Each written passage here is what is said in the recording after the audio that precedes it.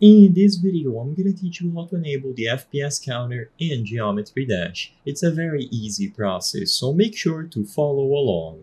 For this video, I'm gonna teach you how to enable an FPS counter for Geometry Dash if you are playing through Steam. So for this method that I'm gonna show you in this video, you will be able to do this if you run Geometry Dash through Steam. If you are playing on other devices such as mobile, you will have to explore other third-party options because to my knowledge as of today, Geometry Dash does not have an FPS counter built in.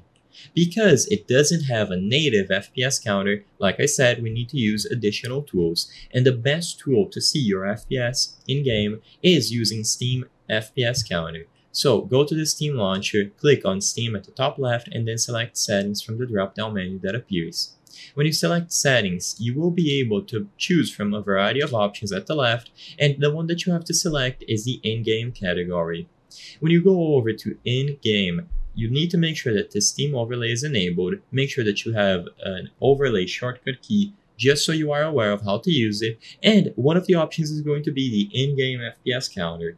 All that you have to do here is choose a position for the counter. So it is going to be set to off, open this drop down menu and select one of the corners, top left, top right, bottom right, or bottom left.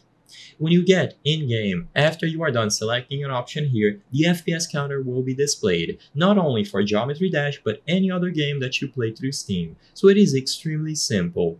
You can also make it high contrast, which means that the color is going to be much more striking and easier to see. That way, you can easily glance over to your FPS and you are always aware of how many frames per second you have at all times. Just make sure that you run the game through Steam and you will be good to go.